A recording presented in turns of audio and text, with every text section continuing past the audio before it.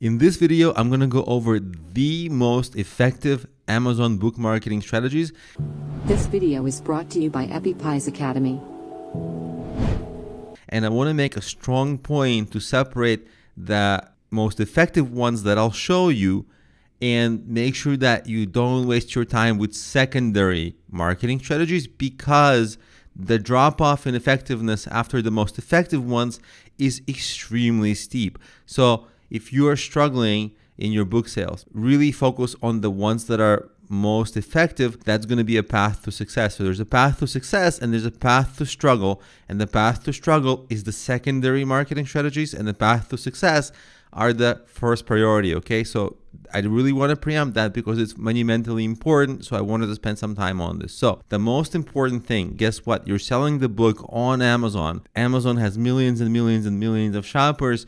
Do not look outside of Amazon to sell books on Amazon. The strategies that are most effective are in Amazon, starting with Amazon SEO. Most books are discovered through people searching inside Amazon. That starts with finding the right keywords and making sure that you're targeting those keywords. We'll talk about it in this course. And of course, you can run Amazon ads on ams.amazon.com to boost your sales. If you're thinking, should I run Facebook ads? Well, that the native Amazon ads they are extremely effective because it's already people who are looking for books on Amazon and you don't need to look elsewhere. So Amazon ads is the first ads you should try. Another thing that's extremely effective at sales is the Amazon recommendation algorithm. That algorithm looks at the quality signals of your book. Are people going through it? Amazon can tell because they can tell how many pages the Kindle readers are going through and they can tell how many pages they're going through compared to your competitor's book. And as you grow your standing on Amazon,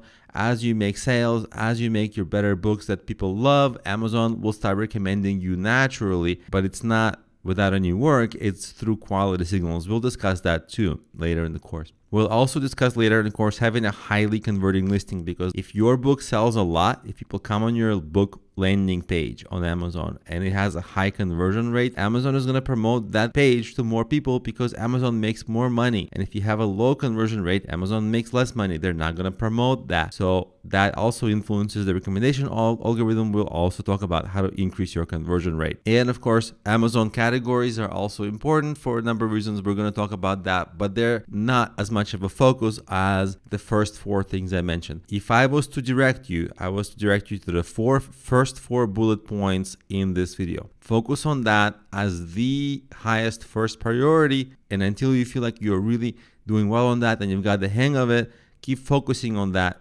Don't focus elsewhere because this is really it. If you manage to get this right, you'll be extremely successful and you'll be happy financially. If you don't get this right, it's a struggle. So once you get the hang of these strategies, you're ready to start selling off Amazon. A lot of people, they start of Amazon. Twitter, Facebook, Instagram, starting there is the way to struggle. You might sell a few copies, but most people will not sell enough copies to sustain themselves financially or be happy with the financial results. But as a secondary option, it's great, especially that boosting your sales can help your Amazon SEO and recommendations. So, of course, creating YouTube videos and running YouTube ads. YouTube ads are very cheap in terms of you can get pennies per view on YouTube ads, even if you target really good audiences. If you compare that with ads like Google AdWords, you'll be paying a dollar or two dollars per clicks depending on the, the niche. And same with Facebook, the ads can become very expensive, but YouTube views can be very cheap. And of course, you can create your own YouTube channel that gets organic views. That's a really good secondary option to sell books. You can do all kinds of social media and run other social media ads. For example, I run Twitter ads. They are very cheap, much cheaper than Facebook ads. And again, this is all great. I don't want to knock social media, but you really want to do Amazon first because that's where you're selling the book and then all these strategies after. If you reverse the process, no good. So, of course, you want to start creating your own audience through a blog, through a podcast, again, through that YouTube channel. However, you can, creating an audience gives you a source of sales that of people who don't just buy but also have an affinity towards you and they're going to be more likely to naturally give you better reviews recommendations and reviews help your standing on Amazon and your own audience. They already like you, they already know you. They'll give you naturally better reviews and help you that way on, Am on Amazon.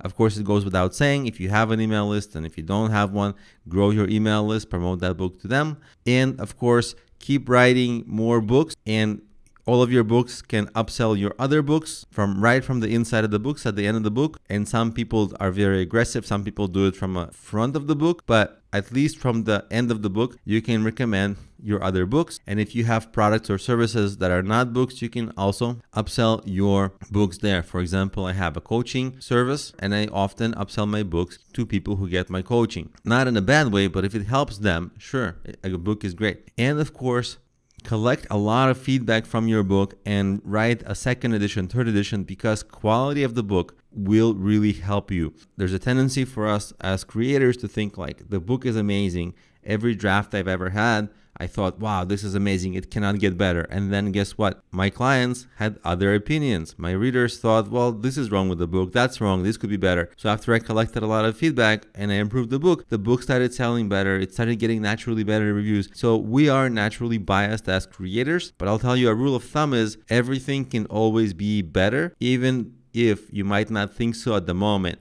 So put a strong effort into improving your books it will make all these other strategies that I'm talking about here easier to execute if your book is better and better and better. For example, my best selling book right now, I'm planning a sixth rewrite of it. And on the second rewrite, I thought it was great. When I launched it, I thought it was great.